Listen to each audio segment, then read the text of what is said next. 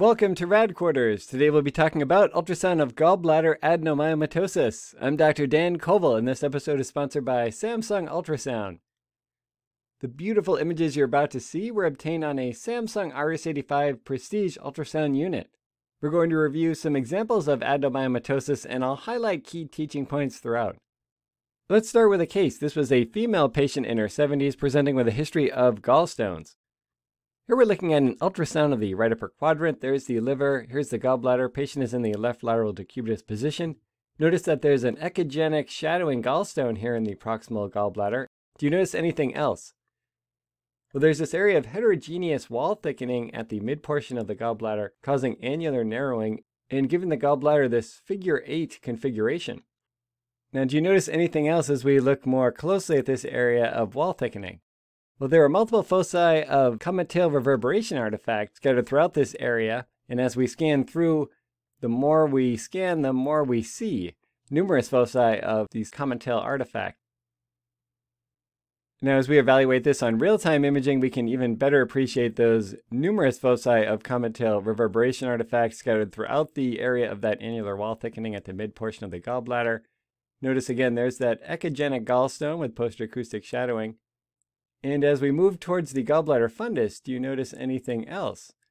There's another area of thickening. This one looks almost more mass-like, but also does have these areas of comet tail reverberation artifact, perhaps even some tiny cystic spaces. Now, when we change the transducer position to really optimize evaluation of that fundus, we can better evaluate the morphology of that second area of thickening. And notice those numerous foci of comet tail artifact about that area of fundal thickening. And do you notice any other feature here that helps us make the diagnosis? There's an anechoic cystic space right there. So this is a patient with adenomyomatosis, and this patient actually had both the fundal type and the segmental type, and I'll explain those types shortly. But first, adenomyomatosis is a common cause of benign gallbladder wall thickening. It's actually seen in up to 9% of patients, and the incidence increases with age, so we often see this in older patients. It's usually asymptomatic, but it can sometimes be associated with sporadic right upper quadrant pain. Pathologically, there are hyperplastic changes of the gallbladder wall with mucosal overgrowth.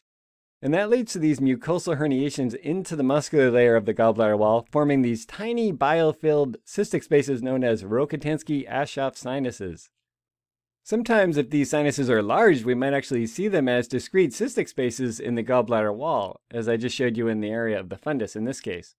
But instead, what we often rely on are cholesterol crystals that deposit in the sinuses, and that's what causes that comet tail reverberation artifact. And that comet tail is the most common finding that we see on ultrasound with adenomyomatosis, and it's highly specific for this diagnosis. You can also exaggerate that comet tail artifact by adding color Doppler. So in this patient, if we had color Doppler, Notice that we see this exaggerated color comet tail artifact at the area of that fundal adenomyomatosis, and this was the edge of that segmental adenomyomatosis. So there are three types. There's the focal or fundal type, the segmental or annular type, and then there's a diffuse type where the entire wall will be involved. Regardless of the type though, we're mainly looking for this comet tail artifact and or the cystic spaces, which are the key to diagnosis on ultrasound. Let me just show you another example of the focal fundal type. This is the most common type of adenomyomatosis. And you can see here there's a mass-like heterogeneously hypoechoic focus at the fundus, but we do see this area of color comet tail artifact, which is reassuring for the diagnosis of adenomyomatosis. Often this form of adenomyomatosis will have an ovary on the gallbladder configuration. The area of fundal wall thickening mimics an ovary that's been dropped onto the gallbladder fundus. It can almost appear extrinsic to the gallbladder, with the Rokitansky-Aschoff cystic spaces mimicking ovarian cysts. However, if this morphology is not recognized, it can be confused with a gallbladder mass, especially if there's not robust comet tail artifact. In those cases, switching to a high frequency linear transducer can sometimes be helpful. So here we're using a curved 7 MHz transducer, which is a common abdominal transducer. If we switch to a high frequency 14 MHz linear transducer and evaluate the gallbladder fundus, here we can see that area of hypoechoic focal fundal adenomyomatosis. It does look somewhat like a mass, but you can see that there are some cystic spaces within that area, and that's reassuring for adenomyomatosis. Also, notice how it does kind of look like an ovary that's sitting on top of the gallbladder. And this appearance is often better visualized on real-time imaging as I'm scrolling back and forth through that area of fundal wall thickening. You can see it's very well circumscribed. We can see those cystic spaces within it. And do you notice anything else that really helps us make this diagnosis? Right, there are multiple punctate areas of comet tail reverberation artifact within it, which is again reassuring and highly specific for adenomyomatosis. One of the other types of adenomyomatosis is that segmental or annular type, as we saw earlier, and that will again narrow the waist of the gallbladder, yielding a figure eight or hourglass configuration.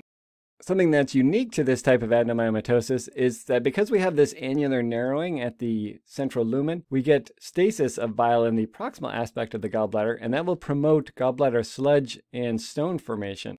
So this form of adenomyomatosis is more likely associated with stones, and this configuration can be somewhat confusing if the morphology is not recognized, because it may appear as though there are two separate cystic areas, a simple cystic area and then a gallstone-filled gallbladder.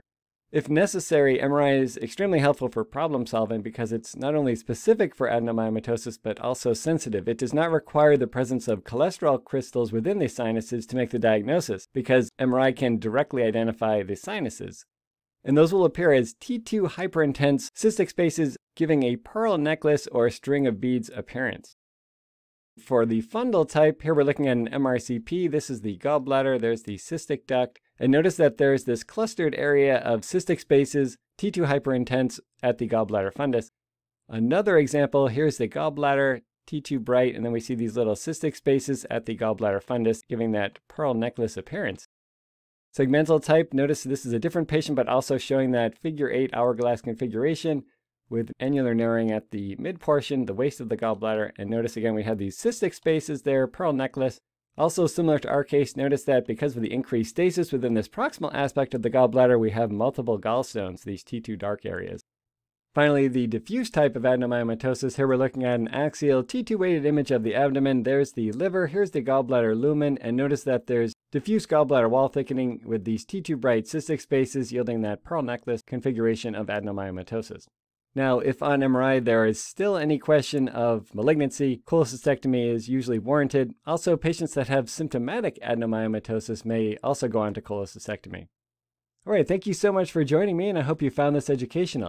Thank you to our sponsor, Samsung Ultrasound. If you like this lecture, a great way to support us is to subscribe to the video podcast on Apple or Spotify, or by clicking the YouTube subscribe button. Reviews are always greatly appreciated.